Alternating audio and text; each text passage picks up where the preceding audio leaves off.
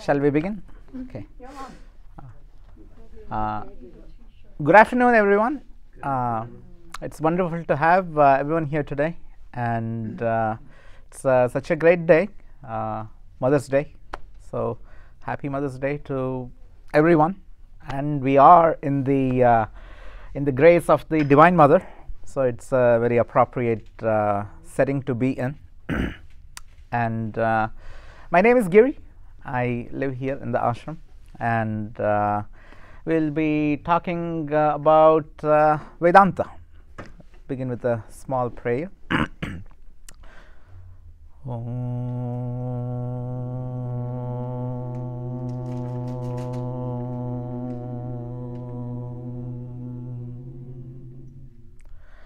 असतो मा सद्गमय तमसो मा ज्योतिर्गमय मृत्योर्मा अमृतं गमया।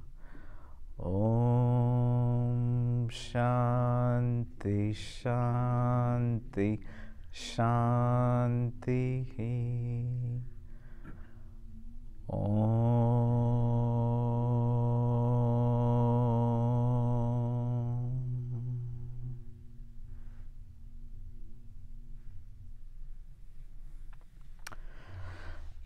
so today's topic is actually Om. Uh, a Vedantic, uh, what's the Vedantic perspective on the central, uh, the it's such a central concept in any yoga, not just in any yoga, all the four yogas, Bhakti Yoga, Karma Yoga, Gnana Yoga, Raja Yoga, not just the Hindu religion, any Indic religion, uh, Om is the one concept that is universally accepted within the various uh, religious forms. Even the most recent one, which is uh, the Sikh religion, uh, it came around 12th 13th century even they subscribe to the concept of ik onkar that onkar is the ultimate truth so we'll dwell a little on the vedantic aspect of it and uh, what's the uh, what's the importance of om and uh, how to how om can be used in our everyday life uh, toward working toward our spiritual goal. but before that, uh, we'll just do like a quick recap. I'm sure you all have uh, some kind of streaming services, right? Netflix, HBO, stuff like that. So when you start watching a show, before the beginning of each new episode, they do like a quick recap, no? Like uh, they show you everything that has passed, and then you move on. So in the same way, we'll just do a quick recap. Uh, we've been doing these classes for uh, a couple months now, and uh, we have been talking about what is the meaning of Vedanta, the literal meaning of Vedanta, what are some core concepts, what are some core Vedantic concepts, what have been the core texts. Uh, Vedanta has three main texts, they call it uh, Prasthana Traya. Prasthana literally means uh, a pole, a pillar uh, in, uh, in Sanskrit. Traya is three. So, the three main pillars of Vedanta is uh, of course the Upanishads, the Bhagavad Gita and the Brahma Sutras. So, all the knowledge encapsulated, uh, the Vedantic concepts are encapsulated in this Prasthana Trayas and then there have been like various commentaries on uh, these um, major texts and they have uh, all culminated into this one body of knowledge of Vedanta and it still continues to this day. And we talked about uh, last class, uh, well, last gathering, we talked about uh, what are some of the practices for uh, for Vedantic thoughts to make it real in our life. Sadhana chat- chatushtaya, like uh, the, what are the fourfold practices? Viveka, Vairagya, Shamadhamadi Shat and Mumukshutva. We went into detail in the last gathering. Remember, this is new. Yeah, yeah, yeah. I know. This is just uh, yeah, yeah. We're still uh, we're still in the past, and then even though time itself is illusionary, we'll come to that momentarily. so from that, we are uh, dwelling into the concept of Om today. Why I uh, particularly started with the last uh, class, uh, the last gathering was that the very first principle, like a practicing principle for Vedanta, is Viveka. Viveka in Sanskrit means, well, a good translation into English would mean discernment. How do you discern the real from the apparent? How do you discern the rational from the irrational? How do you discern reality from illusion? Viveka, discernment. And there are various different uh, approaches of discernment too. uh, some of the Vedantic uh, approaches to discernment is there is one called avasthatraya and then there is the other one that we are that we all are uh, more familiar with especially in uh, the context of yoga is the panchakosha. Annamaya kosha pranamaya kosha manomaya kosha vijnanamaya kosha anandamaya kosha. So this very concept what are we doing there? We are discerning we are uh, in in many ways we are differentiating the different aspects of the experience of the experience of the body, the experience of the breath, the experience of the mind, the experience of the intellect, and where all of it merges into Anandamaya Kosha. And then Vedanta takes the next step as to who is experiencing all of this. That's the uh, that's the Panchakosha Viveka. And then you have the Avasthatra Viveka. And then there's another beautiful method called the Drig Drishya Viveka the seer and the seen. We always are fond of saying philosophy is a subjective uh, field, right? We keep on saying subjective, and then when we talk of science, we say science is objective. Drigdrishya actually dwells deep into this very same aspect. It makes a clear distinction between what is an object and then dwells deeper into the subjective experiences. Like in academia, right? We are, when we take all these classes, we constantly hear professors say, at least in this academia here, even in my own experience, I've seen that people tend to keep a distance from subjective interpretations. The moment it touches something about emotions, something about personal experience, especially in social sciences, they go, oh, that's a subjective experience, and we'll leave it at that and we'll stick to the objective the Indian traditions made it their business to dwell deep into the subjective and apply this viveka into the subjective aspects. and that's another, uh, and the method is called Drig Drishya Viveka, which also connects beautifully to the concept of the Vedantic concept of Om, which we'll do. And in fact, at the uh, toward the end of the lecture, we'll also do like a small little Vedantic meditation exercise too, just to illustrate how it works. I've still not started about Om, I know. Uh, there's a lot of uh, a lot of background that goes uh, into. so, the form of Om itself. We'll dwell into the logistics of it first. We'll get that out of the way and then see how each individual uh, each individual uh, sound of Om corresponds to what. now, Om is a combination of four distinct sounds. Hmm. The fourth one is debatable if it's a sound or not. We'll come to that. So, the you would have heard of it already, right? The first sound is A, the second sound is oo, the third sound encapsulated in there is mm, and there's a silence that fo that follows the mm sound. So om is that encapsulation of four distinct sounds a, oo, mm, the silence. Now, the proper way of actually chanting it is Om. Do not split it into the constituent sounds because the rules of grammar, rules of Sanskrit grammar dictates when you have the ah sound and then when the oo sound precedes the ah, it becomes, it transforms into o. So, even though om is a combination of a, u, m, you always have to chant it as one. Om.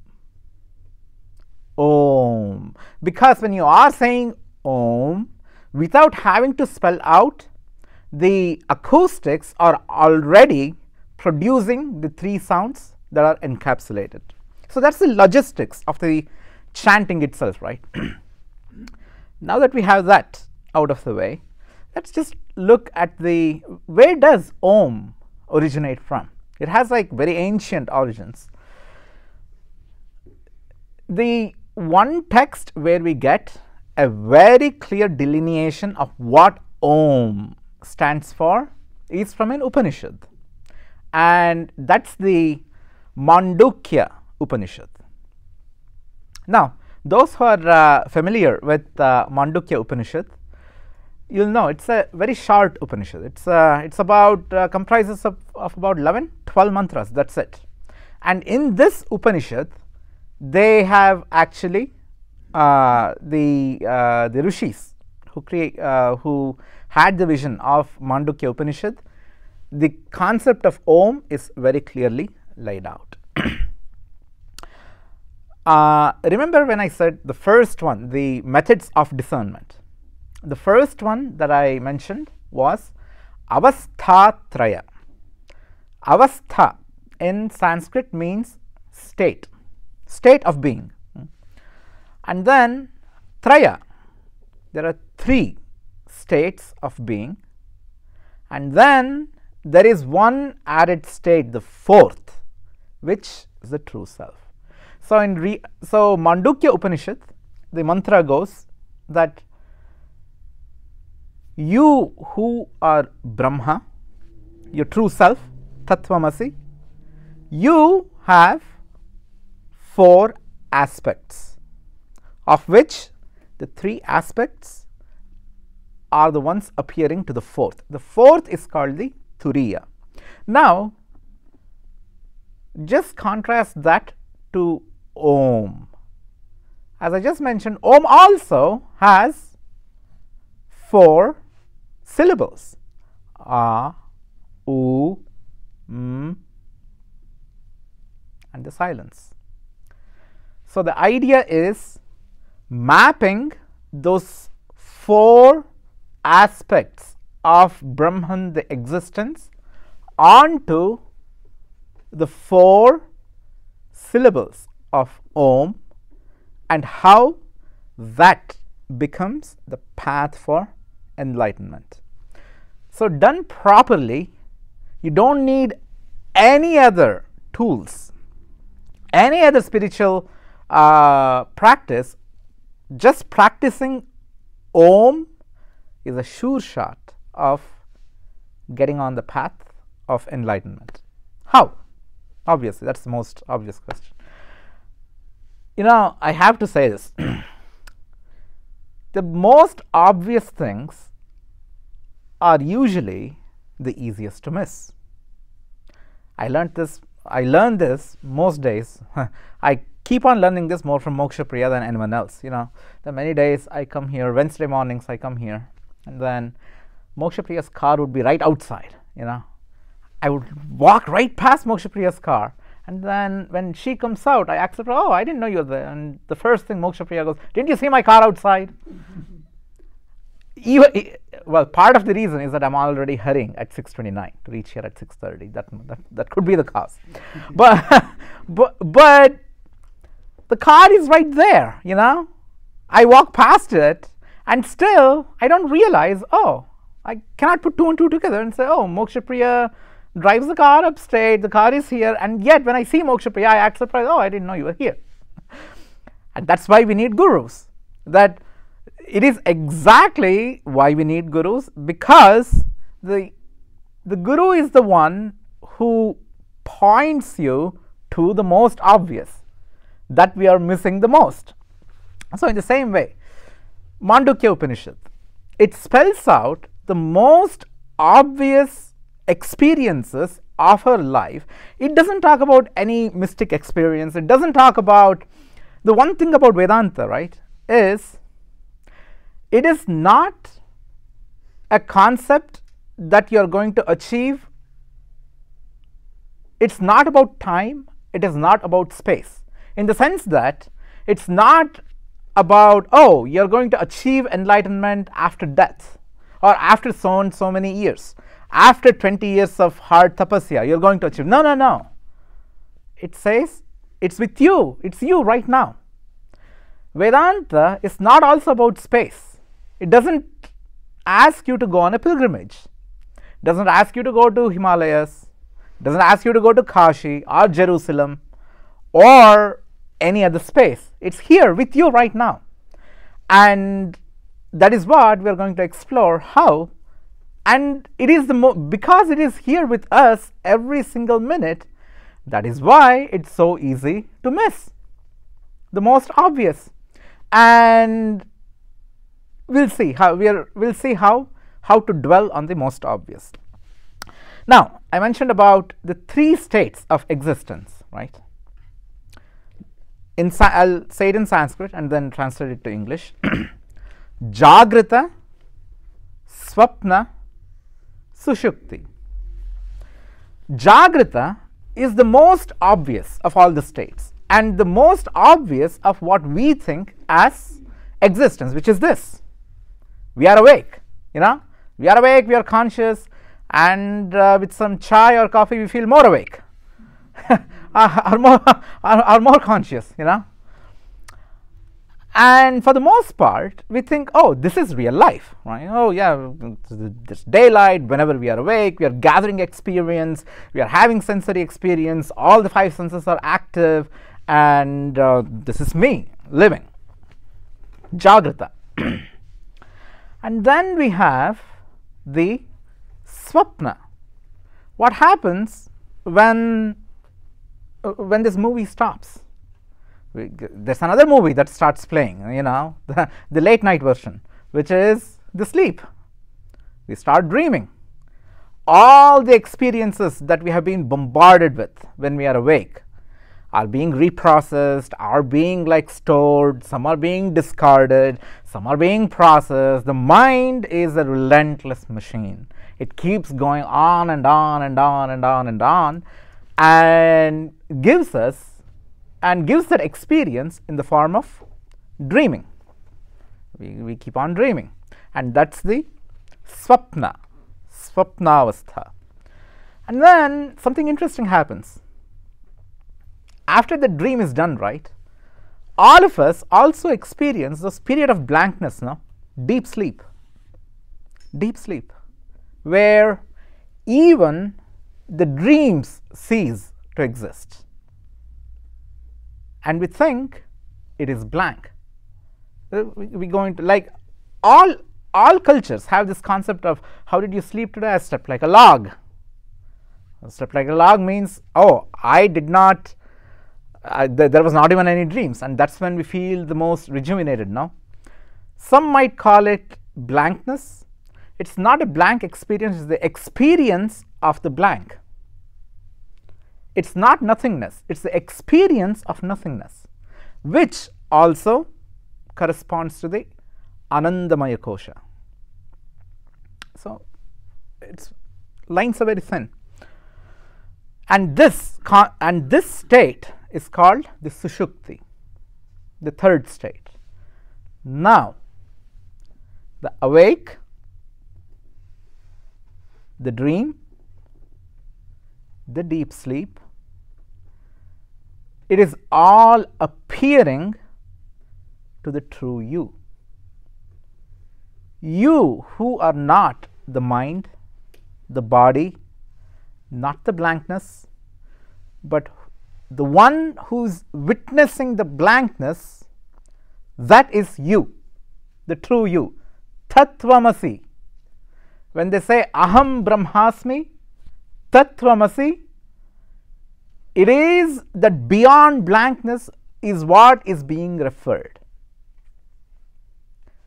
Not the waking state, not the dream state, not the deep sleep state, the one witnessing all of this all the time.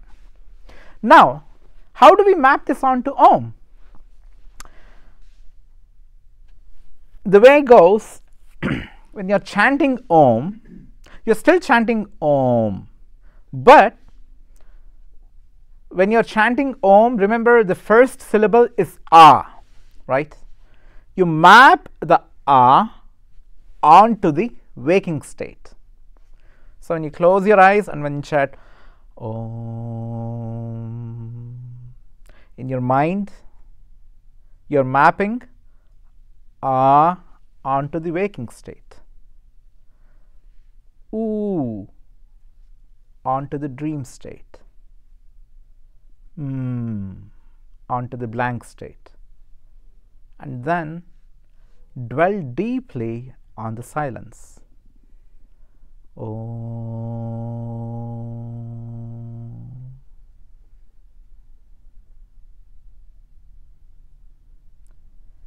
And feel the silence resonate with your true self.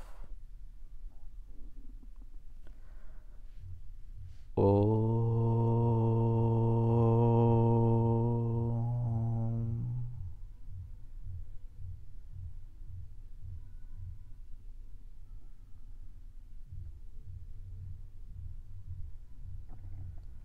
It's such a contradiction that the moment you start speaking, it's gone.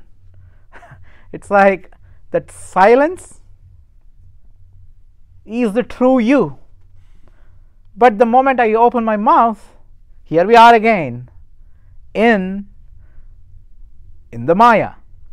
So you see how all these concepts, the concept of Maya, the concept of the three states, the concept of the true self, uh, all these quote unquote complex, seemingly concept complex ideas are so beautifully encapsulated in this one sound and not even a sound. The sounds that lead to the silence. It's all encapsulated there and it leads to the true you who's right here with you. It's, it is you. Now, a distinction has to be made here. Since I also studied linguistics, you know, in linguistics, they have something called a word boundary, you know, in continuous speech. If I break up every word that I'm speaking, see, there's a blank.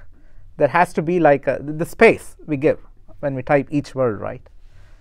That too can be perceived as a silence after each word, no? But no, that's a gap. And then when we say the word it, is, or any word, right, the silence is not factored into the word. It is only for the logistical purpose of making sense that the silence follows at the end of each word. However, it's different in the case of Om. In the case of Om, the silence, the, the whole purpose of Om is the silence, quite contrary to regular words. And the whole idea is that sound ultimately all the sounds that we make even the om sound should make us merge into the true silence. So that's the idea of om and of course you can also do this with yoga you know?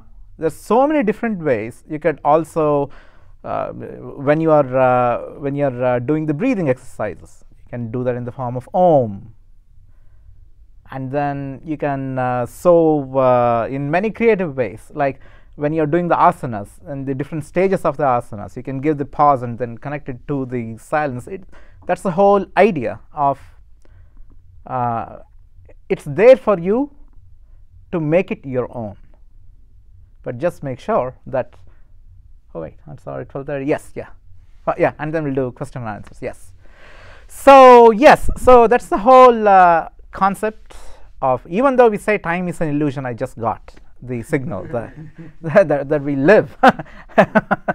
We live we live in the lived reality of the illusion. So just one last thing since we since we have 5 minutes right? We could actually try doing a meditative technique of vedanta which is also connected to the concept of om it's called the Drigdrishya Viveka. Remember when I mentioned Drigdrishya Viveka? so for it, it's very simple. So we'll start with the simplest step. You can either do it with eyes open or eyes closed. Actually, it's preferred that you have your eyes open. That way, it's uh, just choose any object of uh, any object of interest. You know, let's see. Well, beautiful crystal, right? Let's look at the crystal, right? so just observe the crystal. So what is the crystal? It's an object, no? Good. So now the crystal has entered your awareness. Now, as you keep your awareness on the crystal, ask yourself who is doing the seeing? What organ is doing the seeing? The eyes.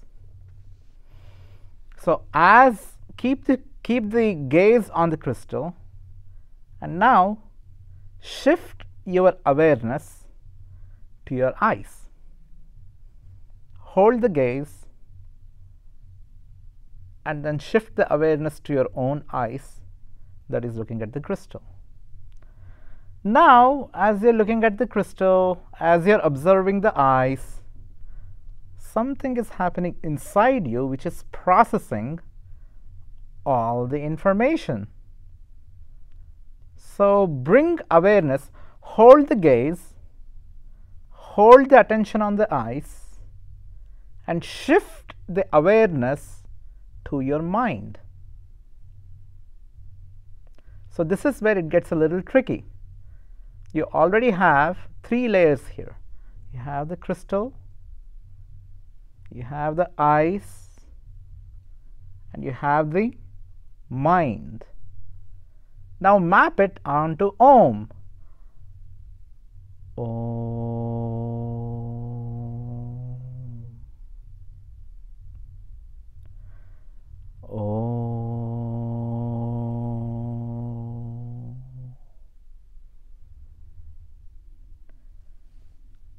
Silence at the end is the one witnessing the crystal, the eyes, and the mind.